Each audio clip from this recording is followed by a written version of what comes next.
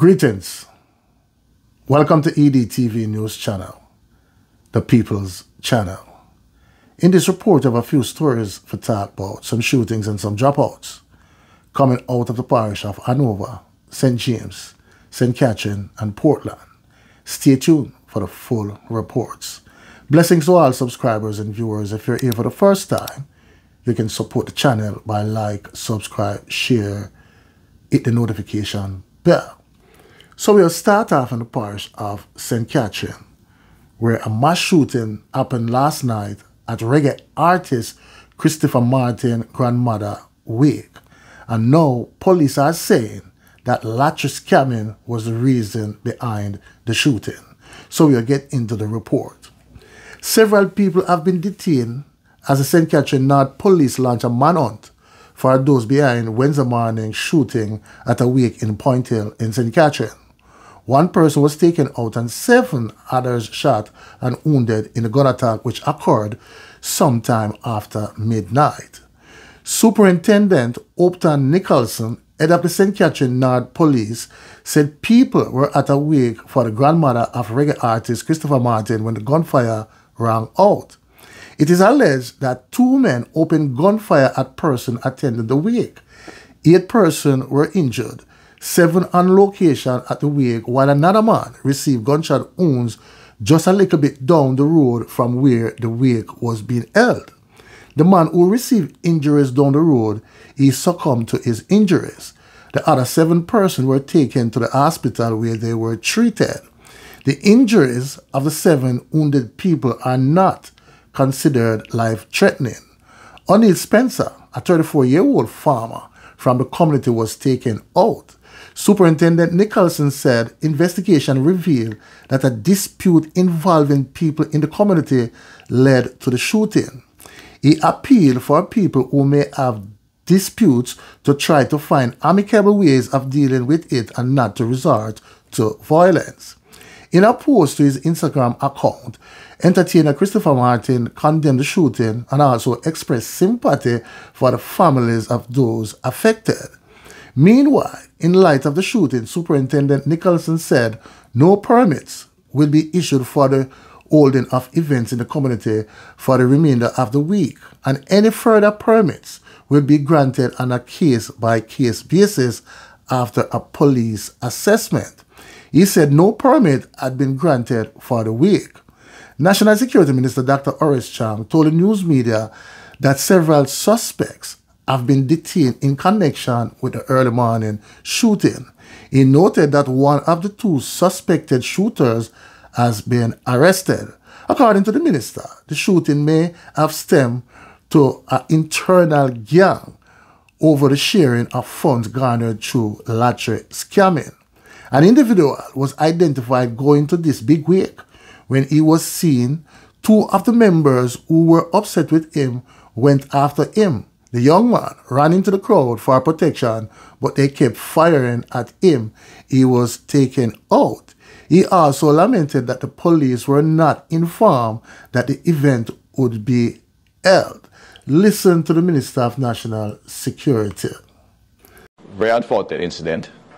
And again, it, it, it, it raises the sensitivity of the community, given um, what has happened recently and uh, the police response is what will in fact give corrections to the community and they certainly have done major work since morning they've been apprehended and identified several of the individuals. There are two there particularly I think they have one out of the two.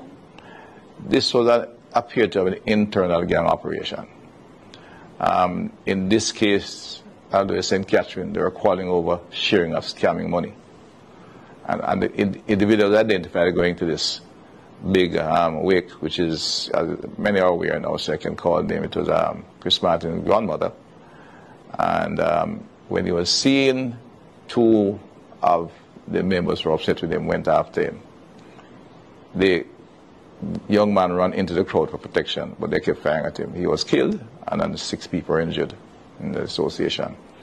There's, in the background, there's some unfortunate events surrounding it, of course, beside that because Chris Martin going to a wake is going to be a big event, and the police have been informed. So now you hear people, tell me in the comment section what you think. Now we'll move on, this time to the parish of St. James.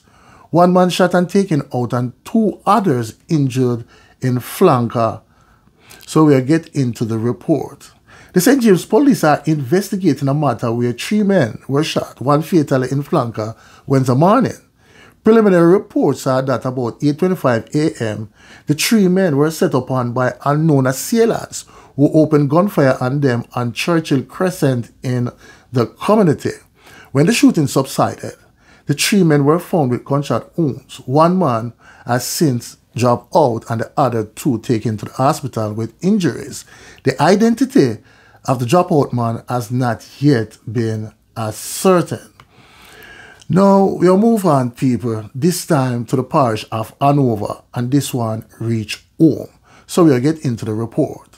Brother of PNP councillor fatally shot during robbery attempt in the parish. Tragedy struck the family of a prominent political figure last night when Bruce Gard, the brother of the People's National Party PNP councillor Kenroy Gordon, was shot and taken out in Burnt Ground, Hanover. The incident occurred during what the authorities believe was a robbery attempt. Bruce Gordon, the sibling of the PNP councillor for the Catadupa division in St. James, was reportedly confronted by armed assailants in Burnt Ground area.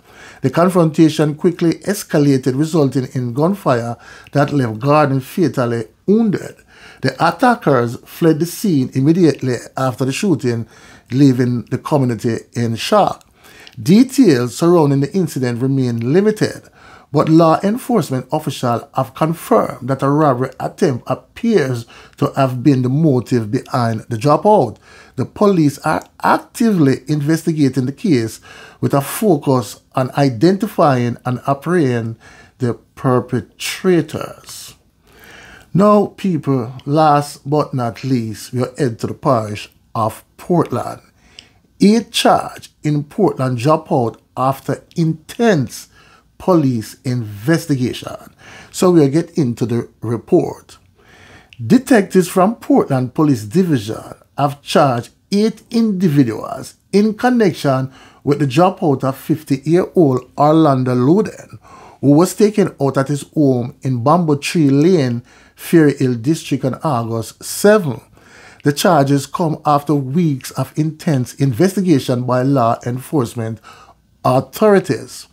Three of the individuals have been charged with dropout. They are 31-year-old Shane Phillips, also known as Taliban, 19-year-old Dynamic Perkins, known as Kente, and 18-year-old Raheem Dixon, referred to as Quigley.